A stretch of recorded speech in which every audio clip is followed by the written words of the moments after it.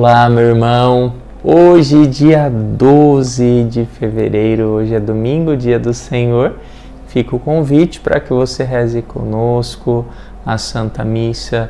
Nós temos a missa na Madre Paulina às 17h30 e uma missa onde é transmitida também virtualmente para que você possa estar unido a nós neste dia. Então vamos lá. Em nome do Pai, do Filho e do Espírito Santo. Amém. Senhor, fala no nosso coração, abre os nossos ouvidos, para que a tua palavra possa trazer transformação na minha vida. O evangelho de hoje é um evangelho longo e o padre vai, vai ler inteiro, tá bom? É do é capítulo 5, de 17, versículos 17 a 37 tá bom? Naquele tempo disse Jesus a seus discípulos: Não penseis que vim abolir a lei e os profetas. Eu não vim para abolir, mas para dar-lhes pleno cumprimento. Em verdade eu vos digo, antes que o céu e a terra deixem de existir, nenhuma só letra ou vírgula serão tiradas da lei sem que tudo se cumpra. Portanto, quem desobedecer a um só destes mandamentos, por menor que seja, ensinar os outros a fazerem o mesmo será considerado menor no reino dos céus. Porém, quem os praticar e ensinar será considerado grande no reino dos céus.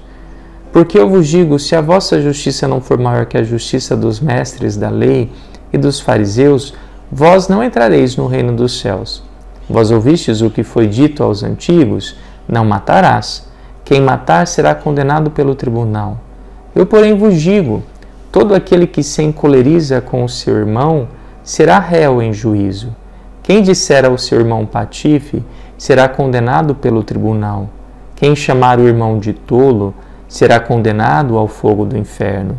Portanto, quando tu estiveres levando a tua oferta para o altar, e aí te lembrares que teu irmão tem alguma coisa contra ti, deixa a tua oferta aí diante do altar e vai primeiro reconciliar-te com o teu irmão. Só então vai apresentar a tua oferta. Procura reconciliar-te com teu adversário enquanto caminha contigo para o tribunal. Senão, o adversário te entregará ao juiz, o juiz te entregará ao oficial de justiça e tu serás jogado na prisão. Em verdade eu te digo: daí não sairás enquanto não pagares o último centavo. Ouvistes o que foi dito? Não cometerás adultério. Eu, porém, vos digo: todo aquele que olhar para a mulher com o desejo de possuí-la já cometeu adultério com ela no seu coração. Se o teu olho direito é para ti ocasião de pecado, arranca-o e joga fora, joga-o para longe de ti. De fato, é melhor perder um dos teus membros do que todo o teu corpo ser jogado no inferno. Se a tua mão direita é para ti ocasião de pecado, corta e joga para longe de ti. De fato, é melhor perder um dos teus membros do que todo o teu corpo ir para o inferno. Foi dito também: quem se divorciar de sua mulher, dê-lhe uma certidão de divórcio. Eu, porém, vos digo: todo aquele que se divorcia de sua mulher, a não ser por motivo de união irregular, faz com que ela se torne adúltera, e quem se casa com a mulher divorciada comete adultério. Vós ouvistes também o que foi dito aos antigos: Não jurarás falso mas cumprirás os teus juramentos feitos ao Senhor. Eu, porém, vos digo: não jureis de modo algum, nem pelo céu, porque é o trono de Deus, nem pela terra, porque é o suporte onde apoia os seus pés, nem por Jerusalém, porque é a cidade do grande rei.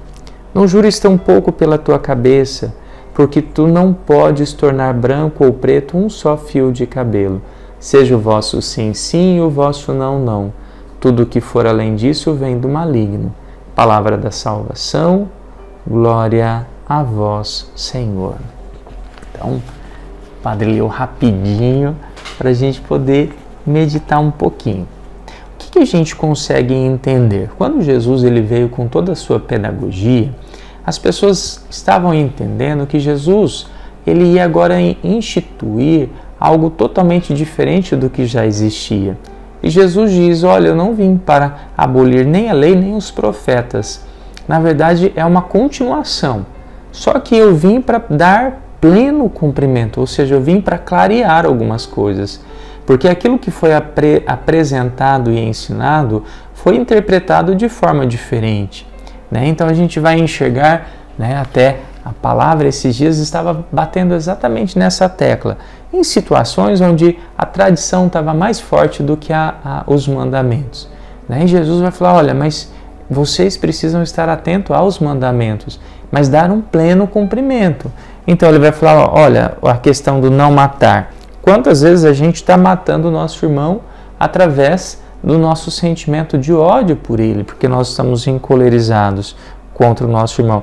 Não cometerás adultério. Quantas vezes você está cometendo adultério porque você está ali dentro de você alimentando uma fantasia, né, com aquela pessoa que é casada ou você é casado, né? E ali, então, a, o ponto principal é essa novi, a novidade de Jesus é uma novidade onde ele vem dizer ainda precisa ser ter uma rigidez maior ainda se precisa ter um cuidado maior, né?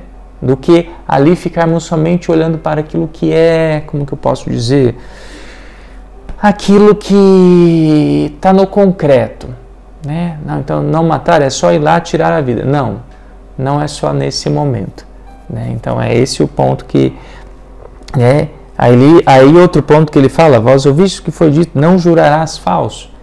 Né? Não vai jurar nem por Jerusalém, nem pela terra, nem pelo céu, nem por Deus. Por quê? A tua palavra já precisa ser uma palavra. Né? É, o, é, é o fio do teu bigode. Né? Antigamente, pessoal, o, o, a, o, quando jurava pelo fio do bigode, acabou. Não, não tinha. Né? A pessoa acreditava. Ou seja, que o seu sim seja sim, que o seu não seja não. Você não tem que ficar jurando por nada. Né? O teu, a, tua, a tua conduta já tem que, que ser assim, uma conduta correta, uma conduta honesta. Entende?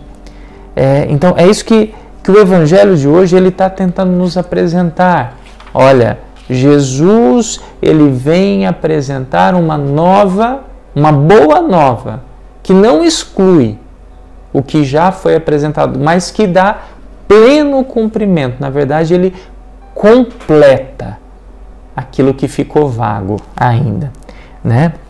Quando a gente pega a primeira leitura do livro Eclesi do, do Eclesiástico, se quiseres observar os mandamentos, eles te guardarão. Se confias em ti, em Deus, tu também viverás. Então aqui novamente a palavra volta para o mandamento. Né? E, e, e, às vezes eu falo assim, quanto que a palavra ela está tão voltada para o mandamento e quanto que a gente ainda fica é, deixando de lado o mandamento. Né? Quanto que a gente nem tem. Né? Se eu perguntar aqui para você quais são os dez mandamentos, eu não sei qual a porcentagem de pessoas que consegue apresentar, falar claramente os dez mandamentos. Lógico, não estou dizendo para você que isso tem que ser algo decor, mas isso precisa ser algo vivido. É de vivência. Eu preciso viver isso, né? Então, Diante de ti ele colocou o fogo e a água para o que quiseres. Tu podes estender a mão. Diante do homem estão a vida e a morte, o bem e o mal.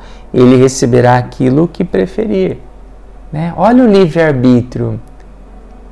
É-nos apresentado o bem e o mal, mas é a, a nossa escolha, é o que eu vou escolher.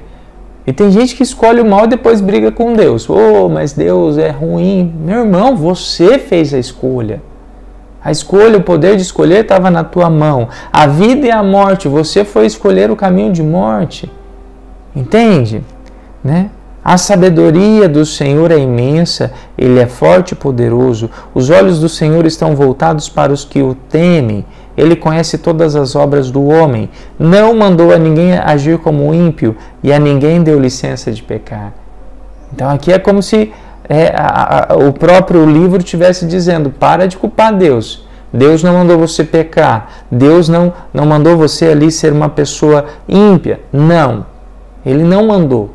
Mas você escolheu dentro do seu livre-arbítrio. E quando eu escolho dentro do meu livre-arbítrio ser um pecador ser um pecador ou caminhar pelo caminho do mal, eu tenho que lidar com as consequências dos atos.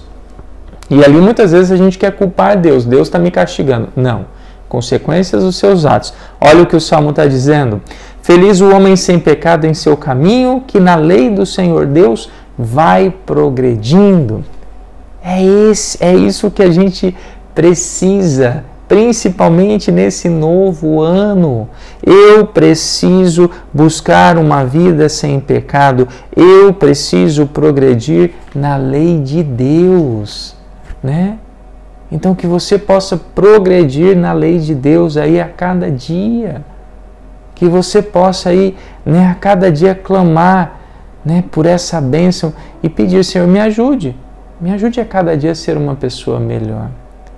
Então vamos pedir a bênção de Deus neste novo dia, que eu esteja atento a este Deus que vem me ensinar a dar pleno cumprimento ao seu mandamento. Pai nosso que estais nos céus, santificado seja o vosso nome, venha a nós o vosso reino, seja feita a vossa vontade, assim na terra como no céu. O pão nosso de cada dia nos dai hoje, perdoai as nossas ofensas, assim como nós perdoamos a quem nos tem ofendido, e não nos deixeis cair em tentação, mas livrai-nos do mal. Amém. Que o Deus Todo-Poderoso te abençoe, Pai, Filho, Espírito Santo. Amém.